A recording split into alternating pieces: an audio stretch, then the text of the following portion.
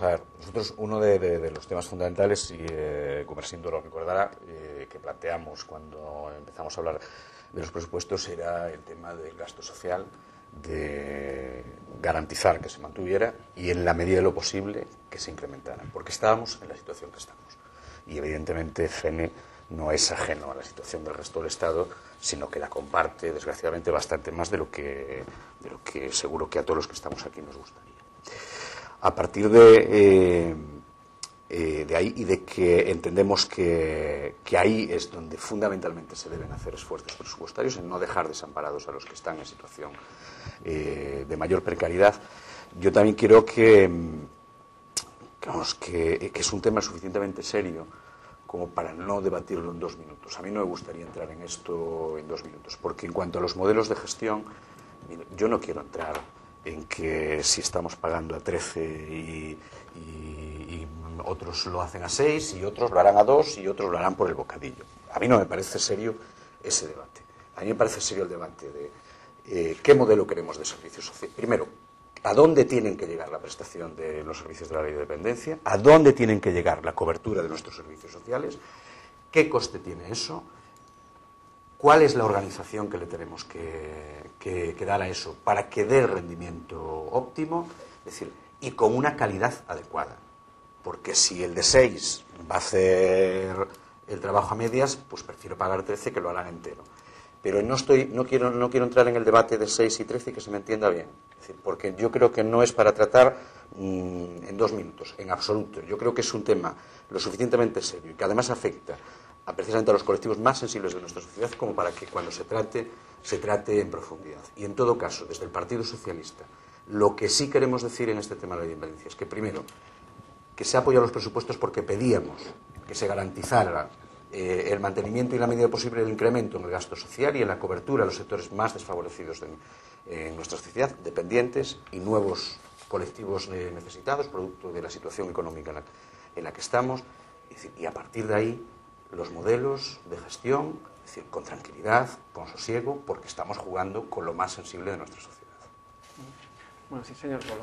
Eh, no sé si quería matizar alguna de las no, cosas que han dicho. Vamos a ver, o que se me diga a min que hai contradiccións, eu estou dando unha, eu estaba explicando medidas concretas polas que o Concello pode axustar económicamente e que non se fai referencia a ninguna delas estén de acordo ou non estén de acordo, porque eu entendo que nin o Partido Popular nin o Partido Socialista, pero neste caso o alcalde de Fene do Partido Popular non ten por que compartir, lóxicamente, o que pensa o Bloque Nacionalista Galego. Sería, pero que non se fai referencia a ninguna delas.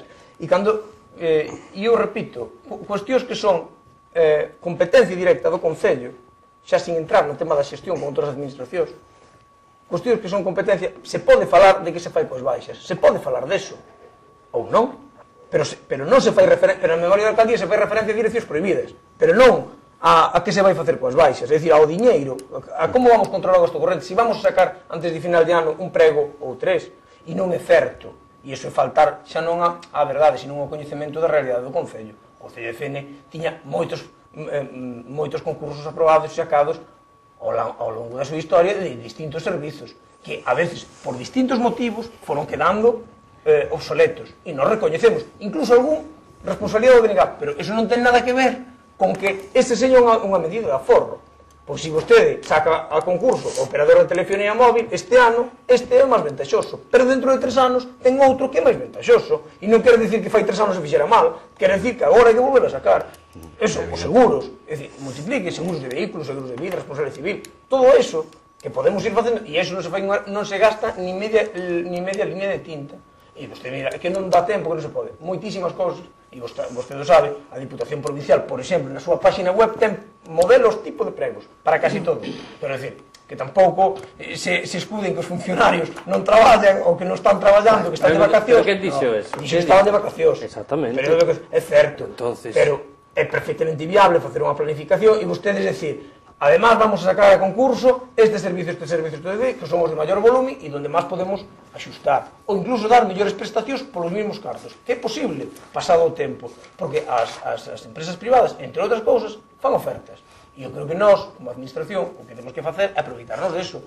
Si calquer persona a nivel individual cambia de operador de telefonía móvil cada 18 meses prácticamente, incluso a veces antes, bueno, pois pues no volumen de, do Concello que falamos de 60 ou 80 mil euros, estamos falando de aforro. E evidentemente cunha medida só non vamos a forrar 500.000 euros. Pero coa suma, como ben dixo vostede antes os 5.000 euros do Estado non é moito un pouco xunto, pero mes a mes faise pois, eso é o que nos eh, eh, pretendimos explicar no control do gasto corrente porque o gasto corrente non é máis que a suma de todas esas pequenas cousas e algunhas máis grandes que ten o, que ten o Concello encima. Pero de todas formas agora temos por diante unha cuestión eu creo que ademais para futuro inmediato moito máis importante que, da que máis non, non se despedimos información, eh, que, é, que son as ordenanzas fiscais. Ese capítulo 1, ese capítulo 2 e ese capítulo 3, eses 5.600.000 que recaudamos dos veciños, das persoas, das empresas, de todo o que constituye o noso Concello. Nós temos as nosas ideas e temos as nosas propostas. Claro, normalmente, en política fiscal, non coincidimos co Partido Popular, pero nos nos ofrecemos a ter ese acordo, porque se melloramos a fiscalidade que está mm, a un nivel eh, en, en determinados padróns moi aceptables, tanto de cobro como de, de nivel, se melloramos aí, pois teña vostede por claro que vai mellorar vostede na súa xestión a futuro, vai ter máis diñeiro, e nós aí vamos a ser eh, coherentes e rigurosos co, co que decimos. Facilítenos vostedes a información que lles pedimos, e de cara ao que ven, con eses eh, novos números de ingresos, que son cos que podemos contar con seguridade, que son os propios que generamos nós no Concello, podemos falar do orzamento do ano que ven, que realmente é o que nos ten que dar un debate con recorrido, porque este, a fin de contas, dentro de mes e medio está, está están exportando o grifo dende, dende a intervención municipal. Vamos antes de dar paso al alcalde a dar paso a un vecino que nos está llamando. Hola, buenas noches. Buenas noches. Díganos. Bien, a, ante todo, pues felicitarle por su programa. Pues, muchas gracias. Y también felicitar ahí al señor alcalde. Sí. Es decir, porque lo que no han hecho con anterioridad lo está haciendo él y por eso le quiero dar las gracias. A ver, pues gracias. cumple lo que dice. En cuanto ahí al señor Noceda, sí. yo no sé el por qué, pero cuando entraron los socialistas se le escapó se perdió y no se sabe nada de él y vuelve ahora. No sé en qué condiciones viene, qué nos va a contar o qué nos va a decir. Yo, señor Noceda, la credibilidad, como usted bien puede entender, el Partido Socialista en CN no la tiene. Pero bueno, ahora vamos al del bloque. No me acuerdo ahora de su nombre, señor del bloque, pero con todo respeto del mundo, tengo que decirle que manda narices.